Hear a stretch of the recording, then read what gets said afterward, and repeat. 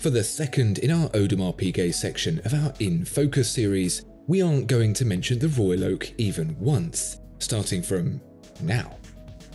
We've got three more incredible facts about watchmaking's plucky saviour, and none of them relate to you know what. You can read even more about this particular third of the top three Swiss watchmakers over on our blog at watchfinder.com too. There's a handy link in the description below, and you'll see some article suggestions popping up in the top right too. Right, ready to learn something new about Audemars Piguet? Looking to buy, sell, or exchange a premium watch? Visit Watchfinder, the pre owned watch specialist. I hope you enjoy watching these videos as much as we do making them. Subscribing, liking, commenting, all of that. I know it seems silly for us to keep asking, but it is genuinely important to keep the channel alive. Thank you. Picture this rural Switzerland, 1875, and two young men who'd been friends all their lives decided to go into business together. One, 24 year old Jules Louis Audemars, had just finished watchmaking school, having graduated by making a particularly impressive pocket watch. It had no less than three major complications a perpetual calendar, deadbeat seconds, and a quarter repeater.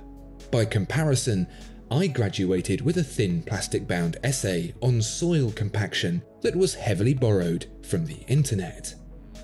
It was clear that Jean Louis had something special going on, and his friend, 22 year old Edouard Auguste Piguet, thought they could make some money out of it.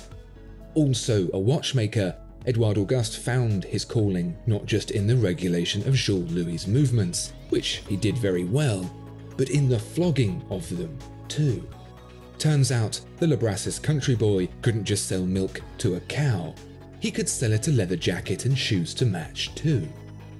With Edouard the brains and Jules the watchmaking brawn, together they were Audemars Piguet. Jules made high complication movements, whilst Eddie sold them around the world, opening up offices in Geneva, London, Berlin, Paris, and New York in just a few short decades. But here's what Audemars Piguet didn't do make watches. What you've got to remember here is that, back then, the name Audemars Piguet meant nothing. It didn't mean quality, it didn't mean costly, and it certainly didn't mean that eight sided watch of which we won't mention. Like so many other watchmakers of the period, Audemars Piguet operated as a B2B supplier, business to business, an OEM manufacturer to other watchmakers. They were still basically kids, making some of the most complicated, and therefore riskiest to purchase, movements in the world. Audemars Piguet made movements for the biggest and best brands in existence. Bulgari, Cartier, Tiffany, they all saw the mastery of this up and coming watchmaker and wanted it for themselves.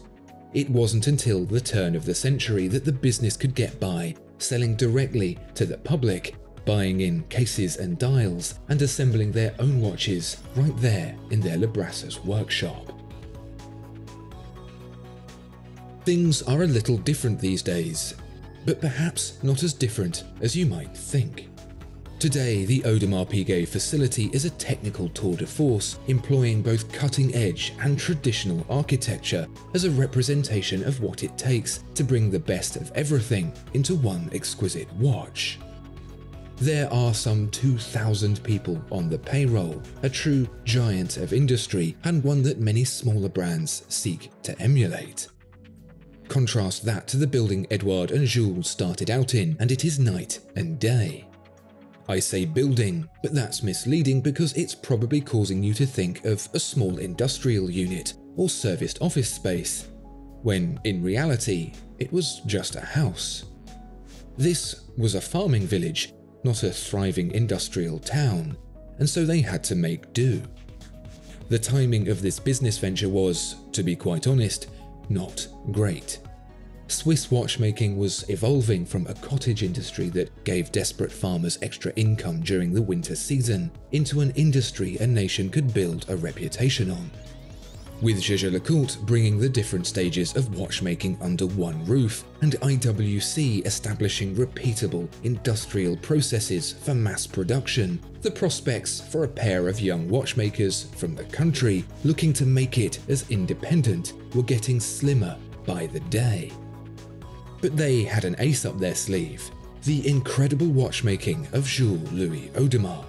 Had he been an average or even a great watchmaker, the business would have fallen on its backside.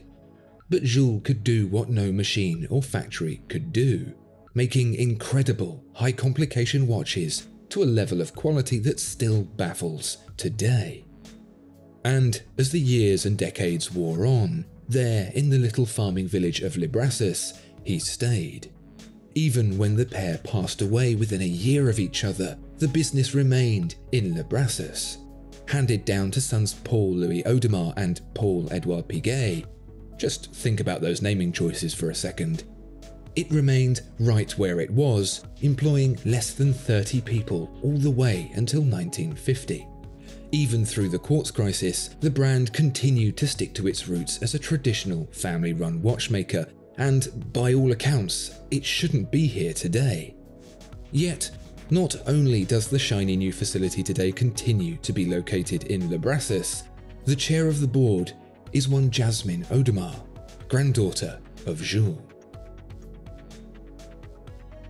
So it was mentioned before that Audemars Piguet tried to take the brand to the next level by making watches for itself and not for others, and that it did by refreshing Jules' graduation project in 1882. It was a good start, improved upon in 1899 with a new, even more complicated watch showcased at the Paris World Fair. This watch had a grande and petit sonnerie, plus minute repeater over three gongs, an alarm, a perpetual calendar, and a split second chronograph with all the second hands dead beat, and it was promptly purchased by Universal Genève and recased as its own watch. But somewhere in between those two watches, in 1889, another less grand but probably more important watch was made. It wasn't a pocket watch like the other two, but a wristwatch, the first ever with a minute repeater. That is impressive enough in itself, a world first for Audemars Piguet and a place in history, but this watch didn't wear the Audemars Piguet name on its dial. It didn't wear any name on its dial. Like all good small businesses, Audemars Piguet started building up its brand by producing one-off commissions. Unlikely to be filling jewelers' windows with its watches anytime soon, producing unique pieces for certain discerning customers was a sensible approach to becoming the complete watchmaker Jules and Edouard dreamt it would be. This particular customer, however, who had ordered the minute repeater wristwatch, was rather special. He himself was in the watchmaking game, owning a firm that not only made watches, but at 100,000 units per year was the largest manufacturer in all of Switzerland. That customer was Louis Brandt, and the watchmaker he owned was none other than Omega. If you don't believe me, you can still see that watch in the Omega Museum today. Thank you so much for watching. If you want more, click the link in the description to head over to our blog for some great articles on Audemars Piguet. I'd really appreciate you checking them out. And have a think as to what brand might be coming in at number 3 next time. You'll have to subscribe to find out. Discover more exceptional watches at Watchfinder. Thank you so much for watching this video. If you enjoyed it, please do consider giving it a like and subscribing to the channel. If there are any watches you'd like to see featured, please let us know in the comments below.